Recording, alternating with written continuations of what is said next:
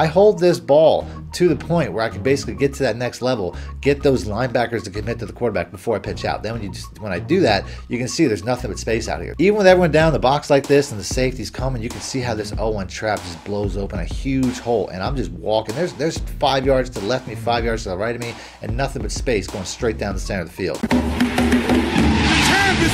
For the cheapest, fastest, most reliable MUT coins in the market, check out my coin sponsors at AOEAH.com and use discount code MONEY for 3% off. Link in the description below. Welcome back, Money Team. This is Madden Money Shot. Sniff at the man. She's as always. Got a new offense for you guys today, or at least the start of a new offense. Today, I'm going to be going over a new offense from a new playbook that I really haven't touched on much this year. I've been doing it more and more recently, and that's the Kansas City Chiefs. I know that's one of the meta playbooks, and that's a you know a playbook that a lot of people are using. I have put out a few offenses. I put out a full offensive breakdown out of the Wing Flex Close is one of my favorite. Has one of the uh, glitchier run plays in the game, which is also a pro favorite out of the pre which is also a pro favorite out of the speed option. This entire formation to me is one of the better uh, formations to use. I'll leave a link in the description if you guys can catch that offense. But today I'm going to be going a little bit off meta because I think that's something that people like about my channel is the off meta stuff. And I'm going to start off with a brand new scheme out of the Flex Y off weak. Now this particular video is just going to be the run plays. So if you guys want to see uh, some pass plays tomorrow or a full offensive breakdown of this, hit the like button, let me know in the comment section. I do have a pass play, the home runs, every single defense Woo! in the game, as always. You know, you guys know what I like to do. So hit the like button if you guys want to see that tomorrow. Now I'm going to start off by showing you guys uh, my four play setup and my audibles like I always do. The star of this video is going to be the shovel option. This is a very rare, very glitchy play. I'm going to show you guys how to run this to perfection.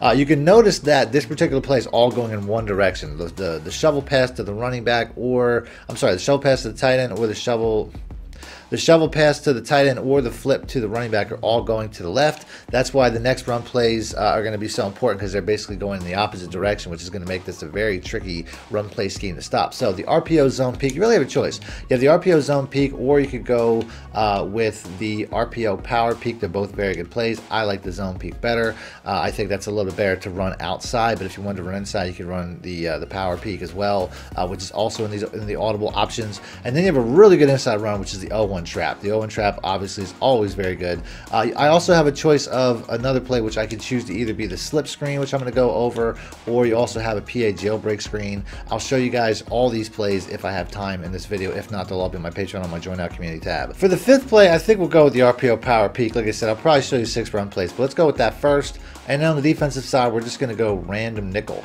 Now, as always, this video is brought to you by my coin sponsor, AOEAH.com. If you guys want to get your MUT team up and sports channel at the same time, all you have to do is check them out. Link in the description below and use discount code MONEY to get 3% off what's guaranteed to always be the cheapest coins in the market. Or you can actually get 6% off. They're running a year-long uh, promo where you can use discount code EMAIL and get 6% off any of the products on their store. So the number one play is the shovel option. This is the star of this video. This is the reason I'm making this particular video. Uh, it's all about the running back to me. I mean, you can keep with the quarterback, and I'm going to be doing something with the quarterback that makes this play a little bit harder to stop. But ultimately, you really have the option. It's going to be left bumper for running back, right bumper for tight end. I don't really find it really makes a lot of sense to ever pitch to the tight end, but you see, you can do that. The shovel option, you see that most used in the NFL is short yardage situations. You can see right there, I did get that short yardage um, you know, if that if I was trying to get a first down or something like that, I did get that. But ultimately, this is something where I feel like when you're pitching it towards a center like that, you can see how you could have uh, a lot of issues. So to me, if I'm running this and I'm trying to get short yardage, it's best just to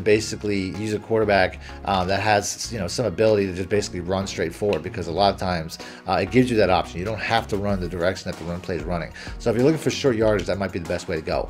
But ultimately, like I said, this play all about the running back, all about the pitch to the running back uh, which you can see I don't actually have to throw it to the running back if they don't cover that. You know what I mean? A lot of times the defender will hesitate like that, and you keep with the quarterback, which is something that's going to be very difficult um, for you know. It's the easiest read in the world. I mean, ultimately, you're just kind of watching uh, if this if this guy you know, basically crashes in or not. Like I said, if I was running this with a super fast quarterback, you can see that might have been a touchdown if I had Lamar Jackson. You can see how they're not really covering that very well. This entire play, the running back or the quarterback, does not get covered very well. But ultimately, my goal is to pitch it out to the running back if I have that opportunity. Now, right there, that was probably the best pursuit. That was actually the worst run, considering that they, you know, they pursued pretty well in the running back. But that's really part of the job of the quarterback is to take on as many defenders as possible before you pitch that ball out. So let's watch the replay here. As you can see here, once again, everybody's come my way. We have the two middle linebackers come my way. This defender stops.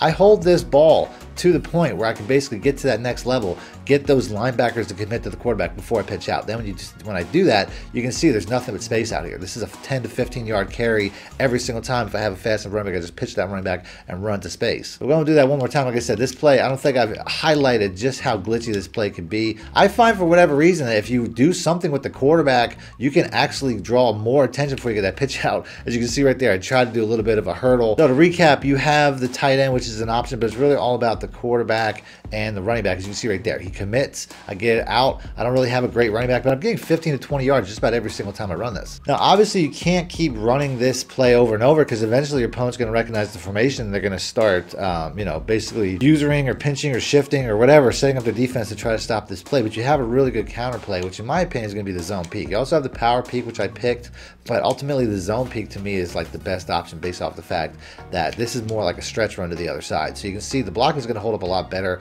and you can have explosive runs in both directions if your opponent starts doing that. It's really up to you though whether you like the zone peek or the power peek. Here it looks like we have a, uh, a blitz coming, so I'm definitely going to go with the zone peek because I do feel like this is going to be one of the better stretch runs to the outside. Like I said, that there, the blocking just holds up a little bit better. You can see we had a, a serious blitz, and I'm shocked that I didn't get a touchdown. To be honest with you, the cornerback came from all the way to the other side of the field. But you can see how you can have explosive runs in both directions. Like right here, my, my tight end is outside of their widest box defender. This is a perfect opportunity to go the opposite way, just as long as those blocks hold up. And you can see we're running into a star player who's uh, who got off that block pretty quick and Judon. That's about the only thing you got to worry about. But pretty much anytime my tight end is outside of their widest, uh, you know, box defender, I probably can get outside, man. That's a superstar, Matthew Judon. That's going to be a little bit harder, but ultimately, uh, that's a really good play. Now, here we have no real gaps. This is something where um, if I want to try to switch over to Owen Trap, that's probably going to be one of the better runs. I find this has a lot of success against defenses like this that have no gaps at the, at the alignment.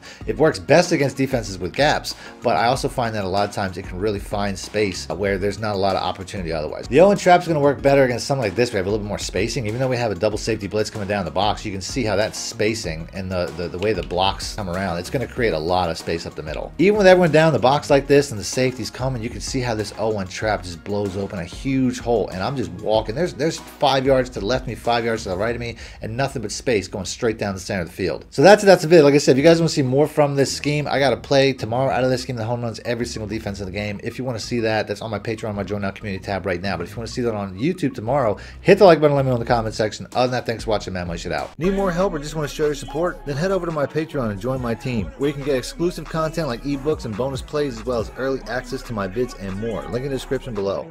Thank you.